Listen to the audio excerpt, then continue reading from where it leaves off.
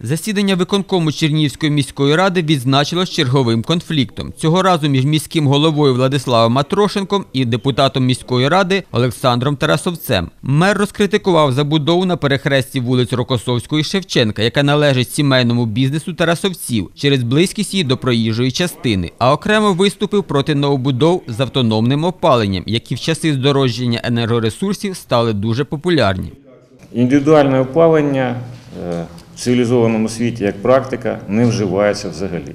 Я вважаю, що нам е, сьогодні це буде безвідповідально значить, е, продовжувати будівництво е, з індивідуальним опаленням.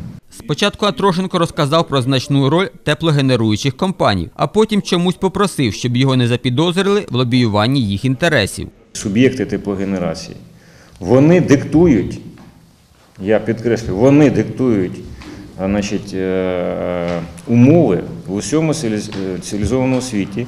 За словами мера, зростання автономки якимось чином збільшує навантаження на споживачів, що користуються центральним опаленням. І як приклад популярності останнього у світі навів досвід маленької Естонії. Олександр Тарасовець заперечив, сказавши, що більшість новобудов в Європі мають саме автономне опалення.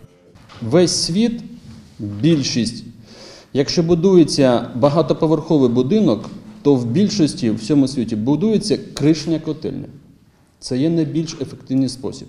Виконком також розглядав поточні питання. Зокрема, були збільшені статутні капітали комунальних підприємств «Шкільне» та «Чернігівводоканал». Затверджено формений одяг і знаки муніципальної поліції та надано додаткових 75 тисяч шефської допомоги військовим.